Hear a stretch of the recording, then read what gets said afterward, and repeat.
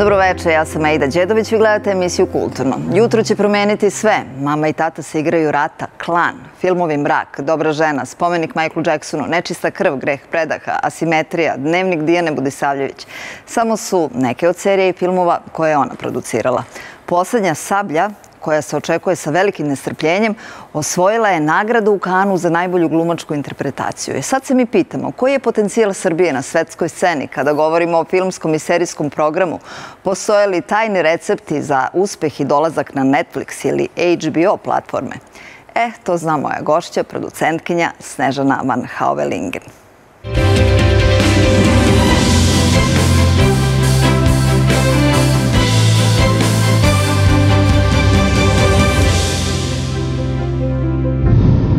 E, dobroveče još jednom. Čuli ste u najavi koja je vaša i moja gošća večeras, Snežana Van Hauvelingen, producentkinja. Snežana, dobroveče. Dobroveče. Dobrodošla u emisiju Kulturno. Hvala, bolje. E, možemo na ti, pošto Tako se poznajemo. Kako bolje te našli. Hvala ti na ovoj divnoj najavi. Odlična sam. E, kad e, se osvrnem unazad, pa kažem koje su dobre serije ili mogu reći koja je serija promenila naš pogled na srpsku produkciju na neki način, je serija Jutro će promeniti sve, koja je zaista e, bacila potpuno novo svetlo na naše mogućnosti u svakom smislu, i u produkcionom, i u rediteljskom, i u glumačkom. A ono što je najvažnije je da je priča bila u stvari ta koja je seriju učinila takvom kakvom jeste. Tako je, upravo e, slažem se za tobom, priča je najvažnija, apsolutno. I ja mislim da je tajna uspeha, da tako kažem, te serije bila u jednom vrlo uh, iskrenom i otvorenom pristupu uh, njenih kreatora, Vladimira Tagića i Gorana Stankovića i njenih uh, i reditelja. I mislim da su oni uspeli da nađu, da kažem, tu ciljnu grupu, odnosno publiku koja je na neki način bila zapostavljena u, u našoj zemlji, u regionu zapravo niko se nije obraćao tim 30-godišnjacima. Tim mladim ljudima, je tako? Tako je, tako je. Tim ni uh, mladim, a ni starim ljudima. Dakle, to je onako neka, da kažem, uh, malo izgubljena generacija u tom trenutku i mi smo se sami tako i osjećali. Ove, ja moram da kažem da svi mi koji smo radili tu seriju smo tada, ja sam uh, na kraju radila neku analizu, mi smo, naš prosek godine je bio 33 svih koji smo, koji, koji smo, koji radili, smo radili tu seriju. A tako čovek se u Srbiji sa 33 godine, sad nadovezujući se malo pred, nismo tako mladi, mm -hmm. tretira kao mlad, pošto ovde, nažalost, deca tih godina i dalje žive sa roditeljima. Da, da, tako je i mislim to je takođe jedan od problema koji mi obrađujemo u našoj seriji. Znači, e, upravo zbog e, naše ekonomske situacije e, mladim ljudima je mnogo teže da se osamostale, ovaj, pa nerado, jeli, zato što su primorani ili moraju da se vrate u roditeljski dom, zapravo tako i počinje naša serija. Inače, ona je zaista inspirisana, da kažem inspirisana ličnim životom životima kreatora i Vlade i Gorana. Goran se nakon uspešnih studija u Americi na American Film Institute gde je ovaj, radio master iz režije, vratio konačno u Beograd i lik Filipa je negde, da kažem, inspirisan tim njegovim povratkom i povratkom u roditeljski stan. Dok je Vlada Tagić poreklom iz Mladenovca i njegovim likom nekom je. E, e, Ljuba je zapravo inspirisan njime.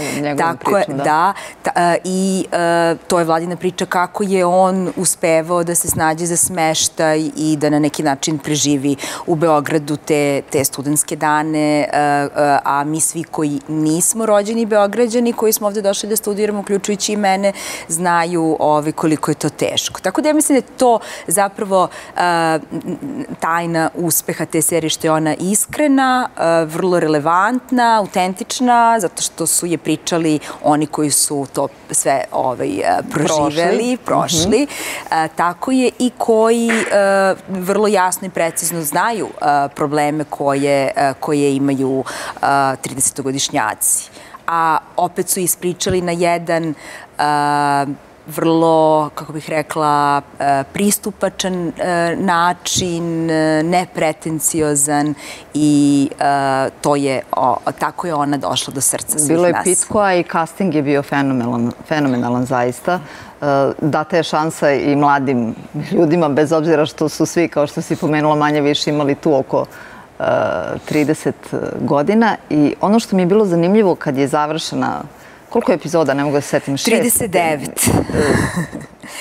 39 epizoda, izvini sad što ću te prekinuti, ali dakle, šta je bila situacija? RTS je imao slot za sitkom od 25 minuta i to nije bilo popunjeno. I mi smo imali ideju da produciramo Jutro će promeniti sve, ali kao 50-minutnu ovaj, seriju, međutim nismo mogli kao mlada produkcija, mladi autori da prosto nikako ni da priđemo da tom servisa. slotu, da priđemo tom glavnom ovaj, slotu. Tako smo mi onda rekli, ok, ajmo mi da apliciramo na ovaj slot za sitkom a, ovaj, i da idemo sa jednom dramskom serijom od 25 minuta koja nije sitkom, ali smo mi tako dobili i slot za sitkom i broj epizoda za sitkom, ali i budžet za sitkom.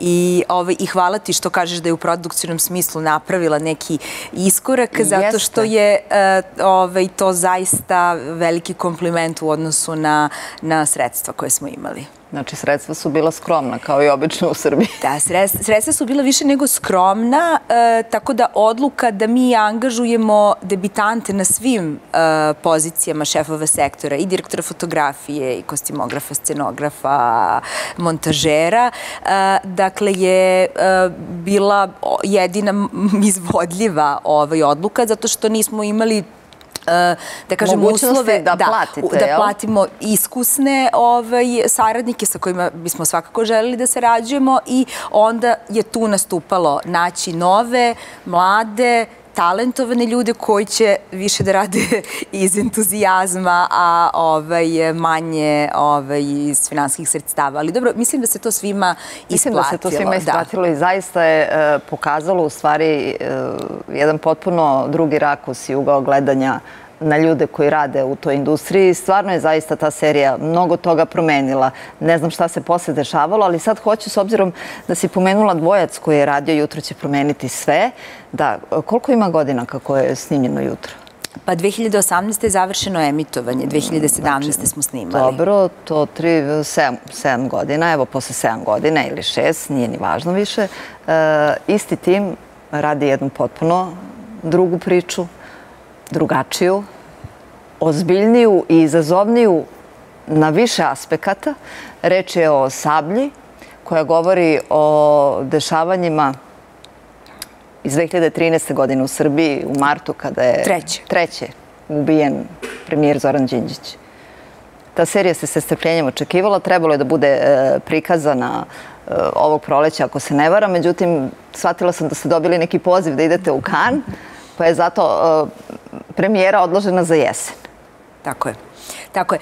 Pa e, zapravo e, e, sama tema serije o Zoranu Đinđiću došla i od direktora RTS-a, gospodina Dragana Bojoševića, tako što je, kada smo mi pravili, mi smo u kinoteci želeli za sve fanove serije Jutro da napravimo premijerno prikazivanje poslednje tri epizode sa celom ekipom i svim glumcima i autorima, jer smo znali da imamo određeni broj uh, fanova koji su nas sve vreme pratili. Prosto, prosto smo želeli da mi upoznamo njih, da oni upoznaju sve nas. I to je zaista bilo jedno ono, divan događaj, vrlo emotivan za, za, za, sve. I uh, tada na te, te večeri uh, je direktor televizije zapravo predložio Vladi i Goranu seriju Zoranu Đinđiću. I oni su razmišljali i uspeli da nađu uh, ugao gledanja za koji mislim da je, da je, ključ, da je ključan, a uh, to je oni su uh, odlučili da tu priču ispričaju od trenutka atentata pa narednih godinu dana i da prate negde tu akciju, uh, uh, ovaj, policijsku akciju uh, Sablja, ali iz ugla tri fiktivna lika. Tako da mi zapravo imamo stvarne događaje, činjenice koje da kažem, manje više svi znamo i mi se to stalno pričamo, svaku u ovoj zemlji ima neko svoje mišljenje o svemu, i o Sablji, i o, tome, i o Đinđiću i o svemu što se dešavalo i ko stoji iza tog ubistva i zašto i tako dalje.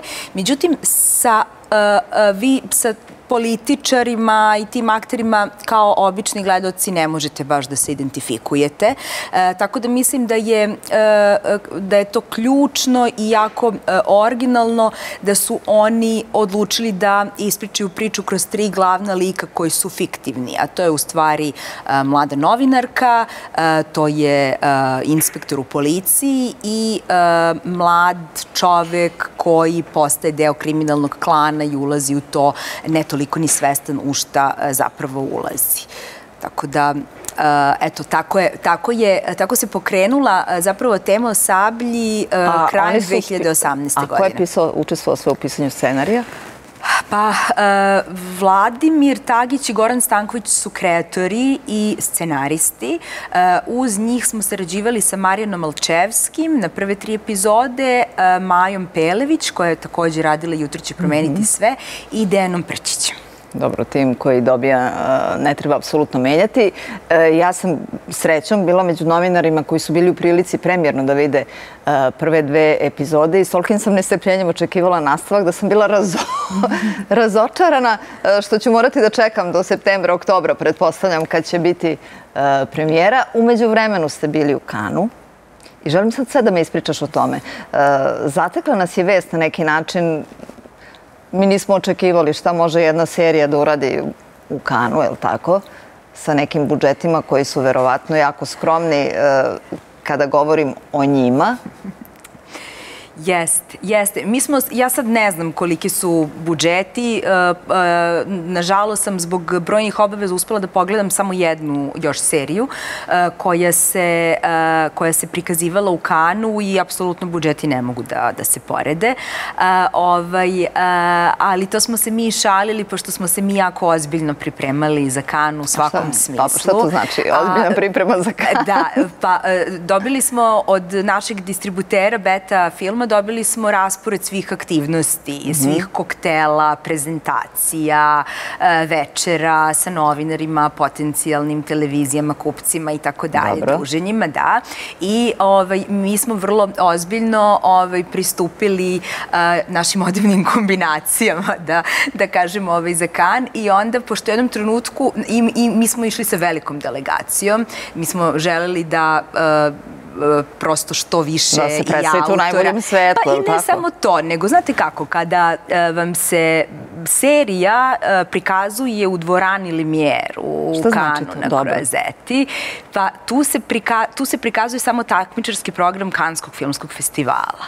I uh, uh, E, sama činjenica da ćemo mi nešto naše, što smo mi radili, gledati u toj dvorani Limijer, je verovatno nešto što vam se desi nikad ili samo jednom u životu ili dobra, ajde ovim srećnicima ovaj, velikim uh, uh, evropskim svetskim rediteljima i više puta, ali je zaista za neko ko dolazi iz Srbije redkost. Tako da smo mi nama je to zaista uh, bila velika stvar i mi smo želeli da što više uh, ljudi, autora, glumaca, ekipe iza kamere koji su uh, zaista jako doprineli da ta serija izgleda tako dobro i da bude selektovana u kanu, dožive taj trenutak i da dožive tu projekciju, jer smo pretpostavljali da ćemo to doživeti jednom u životu i više Jeste nikad. i tamo prikazali samo dve epizode? Tako je, samo dve epizode. Dobro. Da. I?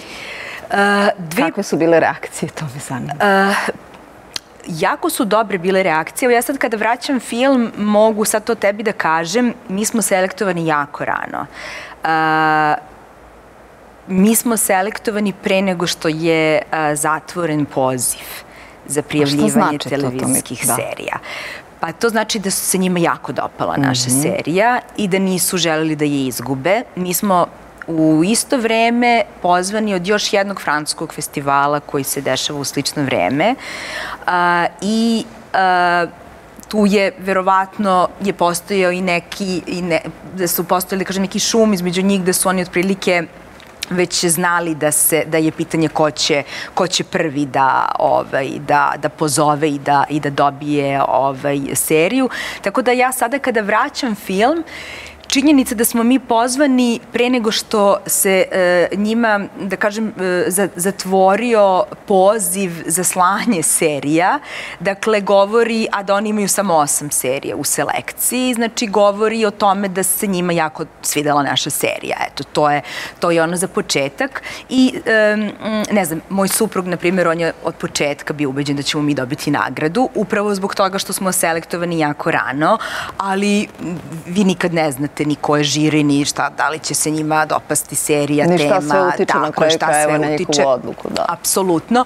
I, ali je nama već to bila ogromna nagrada što smo tamo i mi zaista nismo ni razmišljali da uopšte se, na, se nadali ili bilo šta, jer je nama to već bio, bila velika stvar i bila nam je velika stvar što smo paralelno sa tim, znači potpisivali ugovor sa najvećim uh, svetskim distributerom Beta Filmom, uh, koja fantastično prodaje seriju uh, Sablja na jako puno javnih servisa, ja još uvek to ne mogu da ovaj, objavim. Da nam otkriješ da, kojim sve, ovaj, dobro. Da, ali To ćemo znati veliki... pošto se premijer, pošto se završi prikazivanje, pretpostavljam, pretpostavljam e, Možda će oni to objaviti i ranije, ali uh mhm. -huh. svakako RTS ima pravo ekskluzivnog. E, prikazivanja, tako da će RTS svakako biti prvi javni servis, prva televizija e, u celom svetu koja će prikazati Sablju, a posle toga ovaj dolaze i druge televizije kojima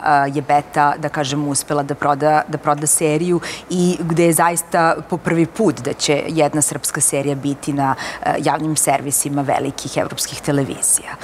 I šta sam uh, uh, počela da pričam? Da, uh, da, mi nismo sanjali zaista o nagradi, išli smo onako potpuno opušteno sa željom da se provedemo i da, da zaista uživamo u plodovima svog mukotrpnog rada. A koliko dugo, kad pomenješ, je rad bio mukotrpan? Koliko pa sedam godina. Pa ne, na, mi smo od kraja 2018. Od 2018. u stvari praktično radite tako, na tom projektu. Mi smo počeli da radimo, mi smo u februaru ili martu, martu mislim imali prvu veliku aplikaciju za medija Kreativna Evropa za razvoj. Mislim, onda smo 2019. seriju prezentovali na Cinelink drami i tamo dobili nagradu za najbolji projekat od svih televizijskih serija.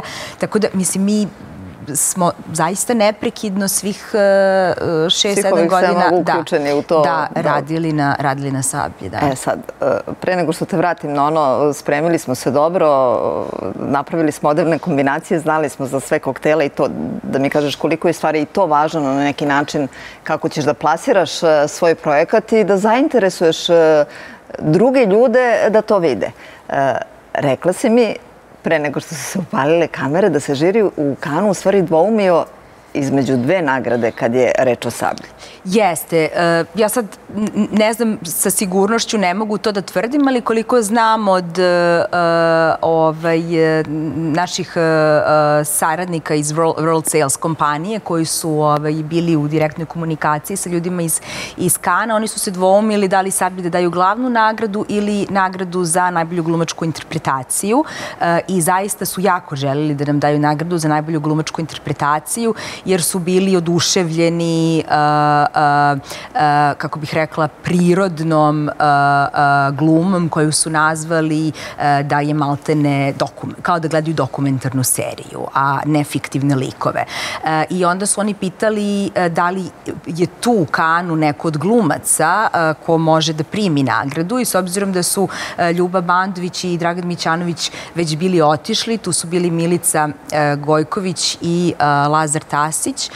Oni su rekli da tu su ovo dvoje mladih glumaca. Oni su rekli pa divno, ovaj, onda će biti baš divno njima dati ovaj, nagradu. I to je nekako, kako da kažem, i divno što se tako desilo, zato što je to prva i Miličina uloga, velika, glavna, a uopšte jedna od prvih ovaj, uloga ono, Lazara, mislim, ikada na, na filmu Jer Lazar igra tog dečaka koji ulazi... Uroša kriminalca. Kriminalca, da. a mhm. Milica igra novinarku. novinarku. Tako je.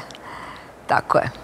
I sad čekamo do oktobra, je li tako? Mislim, kakve su uh, tvoje, pro, imaš informaciju kao producent, znači te, definitivno se premijera očekuje na jesen, samo čekate Tako da RTS odluči... Tako je. Mi čekamo da urednički tim RTS-a izabere pravi uh, termin, uh, najbolji termin za našu seriju i umeđu vremenu uh, je serija dobila jako puno poziva sa raznih festivala televizijskih serija, tako da se nadam da će možda neko i moći da vidi na nekom festivala televizijskih festivala. serija uopšte ima? Mi smo navikli na filmske festivale, pa se obično i na nekim filmskim festivalima u poslednjih nekoliko godina prikazuju premijerno i serije. To konkretno znam za Sarajevo Films Festival, pa sam sad htjela te pitam da li ste dobili poziv da idete i tamo ili... E... Dobro, okay. ne možemo da govorimo o tome. E, kad si rekla da ste bili u Kanu, koliko ste dana bili u Kanu? I rekli ste da vam je bilo važno da znate e, gde su događaji, gde su kokteli, gde su neke večere. E, otkrij nam, u stvari, šta se dešava na tim događajima? O čemu se tu razgovara? Tu su ljudi iz sveta e, filmskog pre svega koji su došli da predstave ono što su uradili. Da, sve je u stvari e, biznis. Znači, mi e, sami kao delegacija i e, uz poziv Kanskog festivala nismo imali nešto puno događaja. Međutim, distributer koji prodaje sablju je vrlo uticajan, vrlo organizovan mm -hmm. i jako dobro radi svoj posao. Tako da je veliki broj događaja zapravo bio u organizaciji našeg distributera i mi smo od njih dobili zapravo naše zadatke, ko, gde, kad, šta. I u principu su to bile uh, prezentacije. Uh, obično bi bila prezentacija za novinare i neke takozvane kupce, znači što su ili distributeri ili predstavnici VOD platformi ili predstavnici nekih televizija. Onda se znači u hotelu u nekoj manjoj sali pusti trailer, glumci malo predstave projekat, onda nas pakuju u kombije, sve, i nas recimo 50, 60, uh, mislim nas recimo petoro, šestoro, sedmoro, sad ne znam koliko nas je išlo na tu večeru i ostalih 50-60 gostiju uh, odvezu u uh, neko fantastično, prelepo, skupoceno selo iznad Kana, uh, gde smo bili u restoranu, gde su nam rekli obratite pažnju, u ovom restoranu su Picassove slike i dela. Mi prvo ono, nismo verovali kao nemoguće, ovaj, ali je to um, neko divno staro selo i jedan uh, onako divan božanstveni restoran u nekoj staroj uh, vili uh, gde je jedna onako zaista lepa, ekskluzivna večera, međutim kako ta večera izgleda? Izgleda tako što je svako od nas postavljen za ovaj odvojen sto sa gostima beta filma i mi zapravo uh, tokom večere uh, pričamo sa tim, ne pričamo mi među sobom, jel? Nego mi Kao pričamo... Kao što bi to bilo kod nas. tako je. Nego mi pričamo, uh, ovaj, konkretno ja sam sedela sa novinarkom iz, iz Associated Pressa, sa uh, direktorom neke VOD platforme iz, uh, iz uh, Amerike i tako mm -hmm. sa još nekim ljudima, ne znam, Vlada, s kim je sedeo Goran i tako dalje. Znači, svi smo bili potpuno potpuno odvojeni. Uh, ovaj, je to bio e, šok za vas? Pa bilo je, nismo očekivali. Znači, ne, ne mogu sve kažem, nije bio šok, pa, dobro, ali... ali niste očekivali. Da, nismo mislim... očekivali, da, ali mislim, zapravo mi smo tu u funkciji prodaje sve mi je to jasno, prodaje da. naše serije. Zato kažem sve je vrlo ovaj poslovno orijentisano i ovaj i onda prosto kada shvatite kako to funkcioniše... Ali vidiš, to je vrlo zanimljivo. Sada hoću da te pitam, a šta su te pitali? Znači, ti si sedela za tim stolom, rekla si, sa ljudima koji apsolutno možda i o nama ne znaju ništa.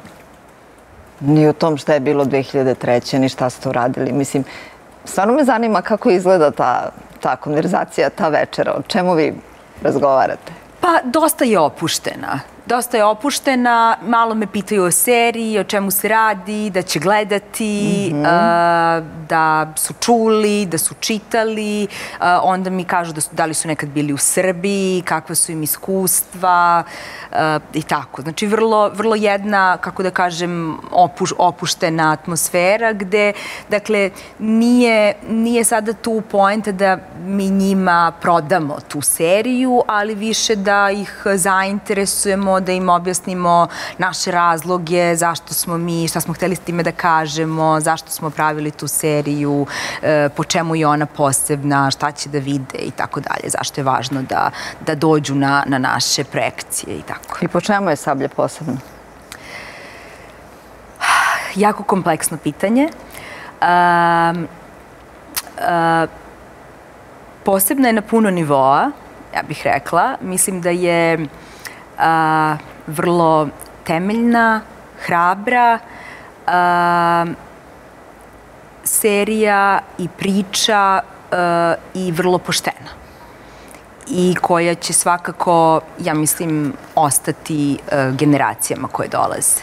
I koji je tvoj zadatak tu bio kao producenta? Rekla si da ste radili 6-7 godina. To je dugačak period. Da bi se napravila dobra serija, treba da ima koliko toliko pristojan budžet da bi mogla da se radi, da izgleda zaista svetski, da bi mogli da se angažuju najbolji ljudi i snimatelji, i direktor fotografije, i glumci i tako dalje. Šta je ono što uh, najviše muči producenta kada uđe uh, u neki projekat koji želi da radi, a želi da bude najbolji? Pa najvažnije je scenarija, apsolutno. Zato smo ga mi toliko dugo i razvijali i pisali i išli na jako puno radionica. Uh, imali smo uh, stručnjake koji su nas savjetovali sa Netflixa, HBO-a, jako puno stranaca koji su čitali scenario, uh, ovaj, razgovarali sa nama, analizirali likove, epizode i tako dalje. Znači, definitivno je najveći trud uložen u, u taj scenario, jer znate, mi se bavimo činjenicama. Pros, tako, tako je, znači činjenicama, činjenicama istorijskim I činjenicama. prošlošću ili istorijom. Jeste, jeste, uh, sa jedne strane, a sa druge strane um, mi se ipak bavimo fiktivnim likovima i pričamo uh, jednu, pre svega, da kažem, dramsku priču o tim fiktivnim likovima uh, koji, su, koji su napisani. Tako da je taj balans, uh, balans je bio jako važan i mislim da je definitivno najviše truda uloženo u taj scenario, što mislim da je nekako i najispravnije i naj, najprirodnije. Dobro, što se na kraju videlo, bar u da. ove tri epizode, osam epizoda ima, je li tako? Da. Osam epizoda po 45-50 minuta. Um, svaka epizoda počinje jednim flashbackom, počinje uh, uh, nekom uh, scenom i nekim važnim događajem uh, uh, u kom vidimo uh, pokojnog premijera Zorana Đinđića i uh, uh, a onda kasnije tokom epizode uh, vidimo i uh, kako su te teške odluke koje on uh, donosio uh, u prošlosti zapravo uticale na ono što se kasnije dešavalo svima nama. Kako ste birali ko će da igra Zorana Đinđića? Igra ga uh, Dragan Mićanović. Da, igra ga uh, fantastični Dragan Mićanović. Dugo ni, mislim, dugo ste, nismo se mi bavili Jeste castingom. Radili casting? Niste se bavili... Nismo se bavili castingom uh, godinama, da tako kažem. Castingom pa dobro, smo se bavili sam, pošto je prioritet bila priča. tako je, tako je. Castingom smo se bavili mesecima, m, mada smo uh, te, kako da kažem, uh, zapravo velike glumce uh, zvali, dakle, da, da igraju naravno bez castinga, uh, kao što su Ljubomir Bandović, Dragan Mićanović, Jasna Đuričić i tako mnogi, mnogi drugi veliki glumci, jel, naravno.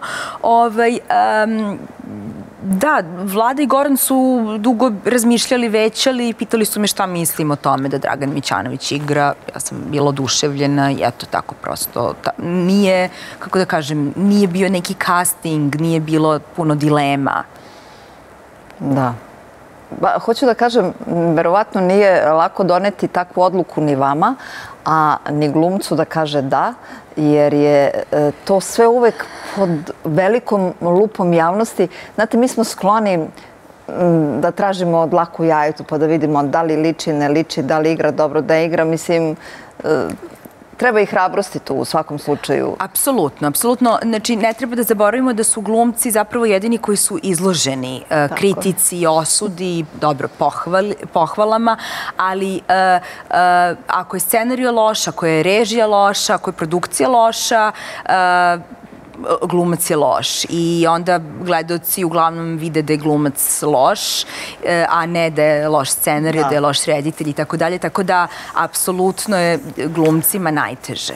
A kako uopšte biraš priče koje ćeš raditi? U najavi sam pomenula uh, i jutro, i mama i tata se igraju rata, i klan. Ne znam koliko je sezona snimljeno serije Klan 3. I film Mrak, koji je bio naš kandidat uh, za Oscara i Nečista krv. To je bio prvi srpski film koji se našao na Netflixu. Mm -hmm. Na srpskom jeziku? Na srpskom jeziku, mm -hmm. tako je. Da. Pa kako se dolazi na srpskom jeziku na Netflix?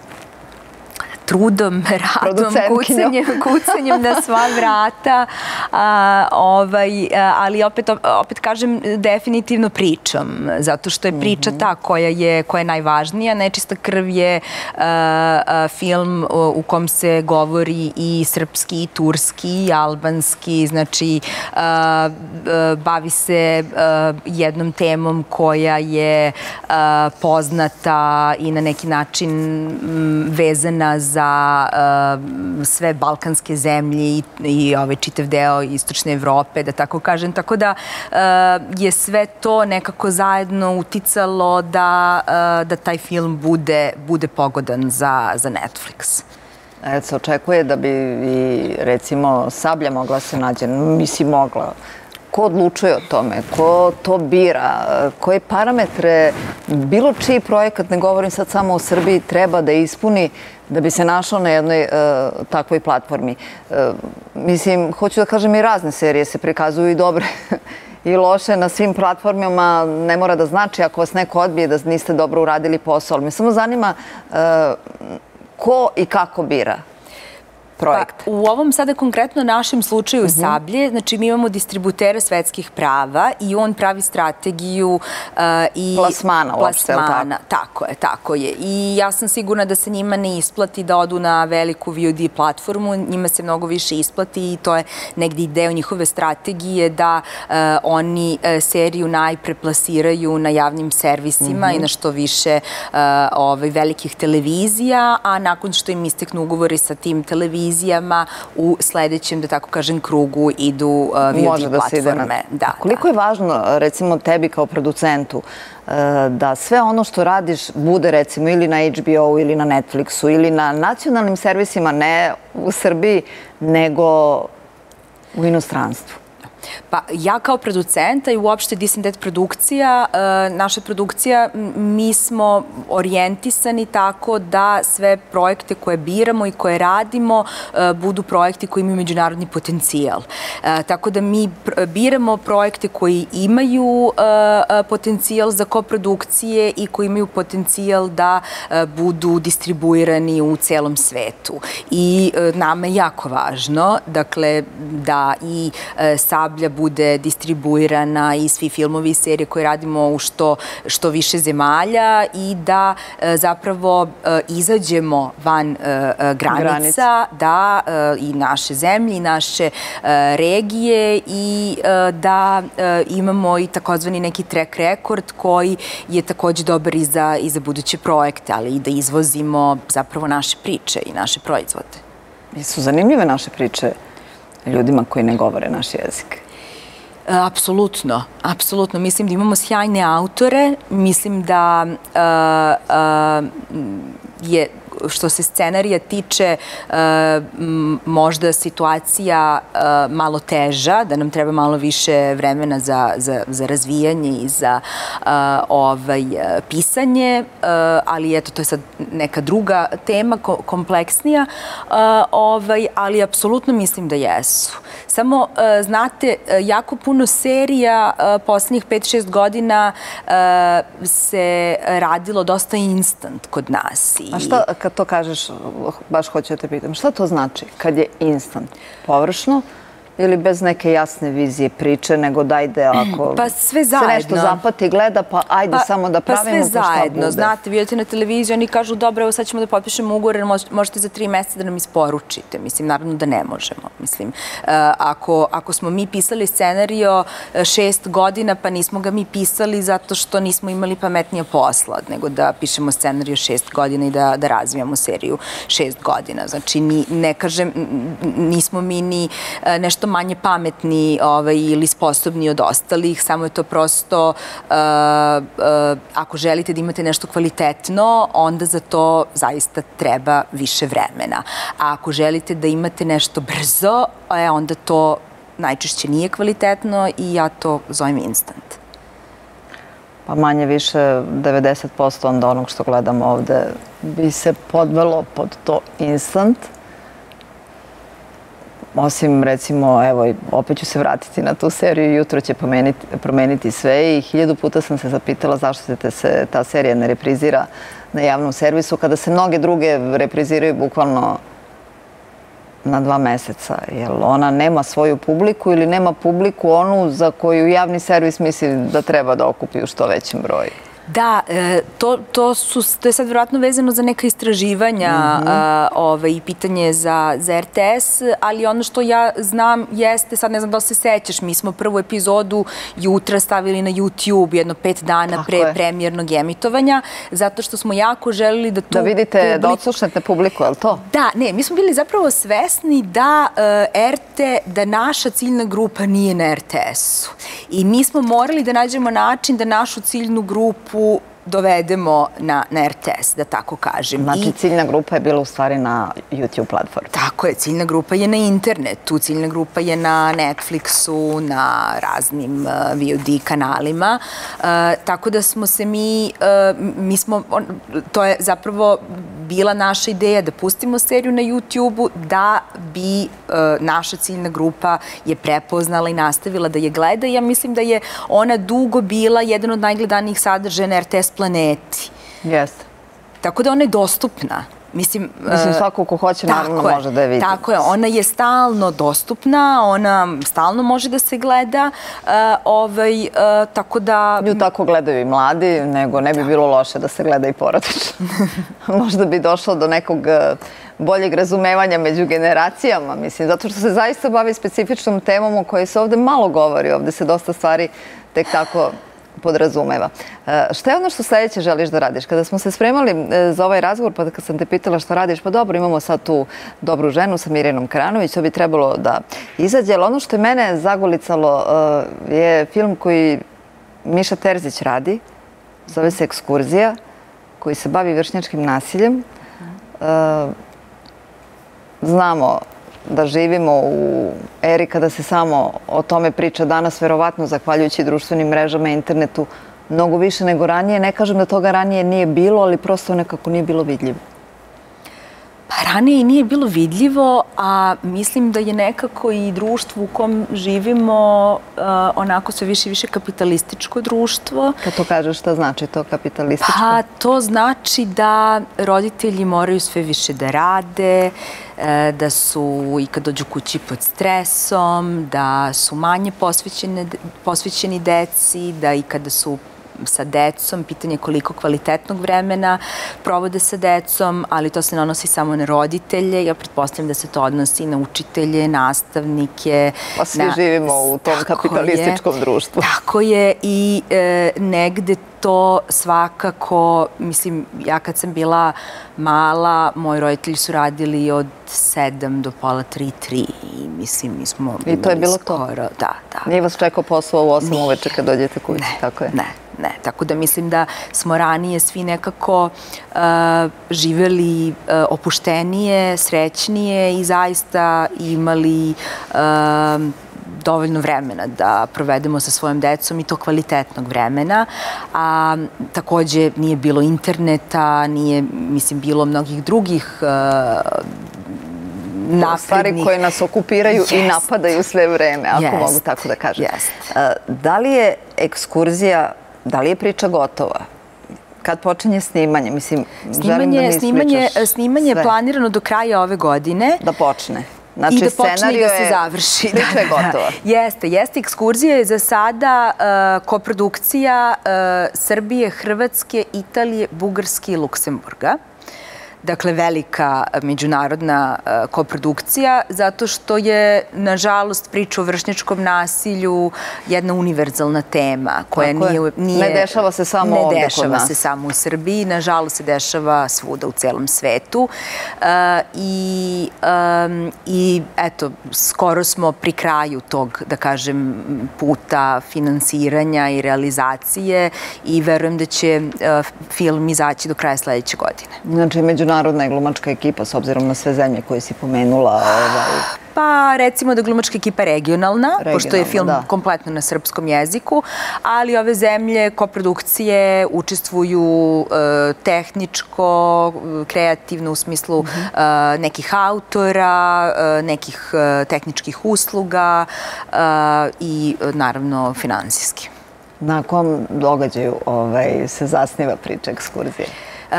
Priča, da, priča je uh, zapravo inspirisana uh, ovaj, dečakom Aleksom Jankovićem koji je zbog vršničkog nasilja izvršio samoubistvo, a ono što je zapravo nas tu najviše pogodilo kad smo čuli tu priču, jer te sve priče manje više liče jedna na drugu, ali ono što je bilo specifično u ovoj priči i što je za nas bilo najbolnije jeste što je ceo razred, celo odeljenje sa svim nastavnicima par nedelja posle njegovog samoubistva otišlo na ekskurziju kao da se ništa nije desilo.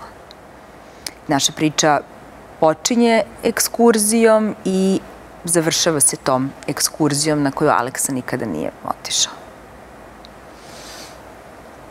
Mislim, jedva čekam da, da vidim taj film. Znači, premijera bi u bioskopu bi trebalo, ako sve bude išlo kako ste planirali, da bude sledeće godine. Mm -hmm.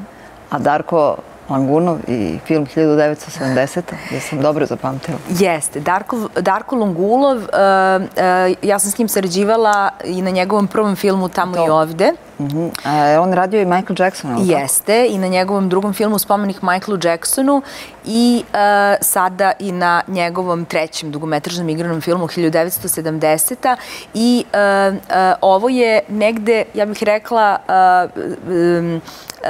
slična energija kao i na njegovom prvom filmu Tamo i ovde, zato što je priča vrlo lična i on je priču, pričao zapravo iz svog nekog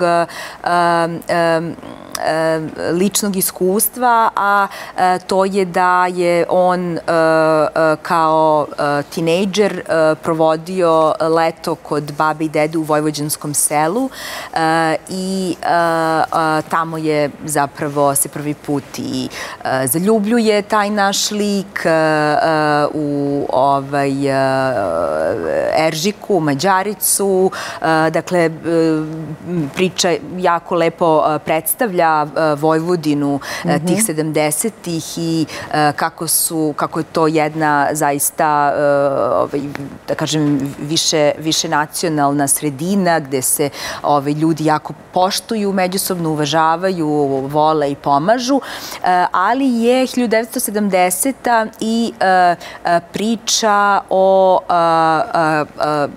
začeću hipi pokreta na našim prostorima i priča o negne o osnaživanju i emancipaciji žena i e, ono što je meni posebno zanimljivo u tom njegovom scenariju, u njegovoj priči jesu ti jaki likovi tih žena, od te eržike, tinejdžerke, mm -hmm. preko mame glavnog junaka, koja zapravo tada, te 1970. odlučuje se na korak razvoda, koji je za to vreme ovaj bio, da kažem, onako vrlo nesvakidašnji, ne sad ne kažem skandal, skandalozan, ali onako dosta um, ekstreman i uh, zapravo uh, uh, kako je taj tinejdžer koga mi pratimo ovaj, uspeo da te sve to ovaj, doživi i preživi. Da li razmišljaš o nečem što bi tek želela ovaj, da radiš? Neku priču kojom bi želela da se posvetiš, da se baviš? Da ti si jedna neverovatno energična žena, borac, svašta se toga preturila preko glave. Ljudi nekad vole i lične priče i moram da kažem, sve to si primjer, otvoreno pričaš o svemu što ti se dogodilo. Mislim na situaciju sa kancerom koji si savladala. Da li si razmišljala da to jednog dana daš nekom ko bi razvio dobar scenario? da stavi na platno? Da, e, palo mi je na pamet, ali e, ja nisam neko ko sada nešto potencira e, u pošto poto. Prosto ako bi se desila mhm. neka dobra i kvalitetna priča o tome koja bi mi došla i koja bi mi se svidela, ja bih je svakako radila kao što radim sve druge priče koje do mene do, dolaze na ovaj ili onaj način i koje, i koje me zanimaju. Tako da, apsolutno bih volela, ali kažem, opet zavisi od scenarija, ovaj, od reditelja, ko, ko, ko je priča, na koji način je priča i tako dalje. Ali apsolutno mislim da je borba sa kancerom danas uh, u ono, ovoj epidemiji bolesti nešto što, što je jako važna tema i mislim i dosta se i obrađuje, a svakako mislim da, da nedovoljno i da, da, da bi moglo ovaj, da mnogo bi, više i bolje. Više, filmska da. serija, serijska vizura uvek da tu neki drugačiji pečat sa kojima se mi možda lakše identifikujemo pa kažemo evo iako sam bolesan, nisam sam, ne dešava se samo meni i sa tim se može izaći na kraj. Tako je. Snežana, hvala ti puno što si bila moja gošća. Želim ti svu sreću uh, sa serijom Sablja, a i svim ostalim projektima o kojima ćemo tek uh, pričati u buduće. Znači, jesen očekuje nas premijera Sablja, a posle toga želim ti da s njom svi zajedno osvojimo sve nacionalne televizije u svetu. Hvala ti puno. Uh, bila je to Snežana Van Hauvelingen, producentkinja serije Sablja, koju ćemo tek gledati, a mi se ponovo vidimo za nedelju dana. Prijetno!